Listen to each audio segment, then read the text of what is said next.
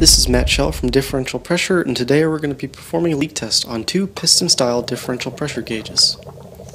The test will compare our 200 dpg piston-style gauge on the right versus a competitor's gauge on the left. Pressure will be introduced to the high side of both gauges at about 22 psi. And as we look from the top, you can see that I have the same line connected to both gauges. As pressure is introduced to the system, we begin to see bubbles forming on the left-hand side of the competitor's gauge. This is due to air flowing around the piston of their model. This effect is called migration and is due to the fact that the competitor's gauge is simply a machined piece of metal. Our piston, on the other hand, is machined metal with a Teflon coating around it. This Teflon coating forms a similar seal to a hypodermic needle and causes reduced migration from the ports.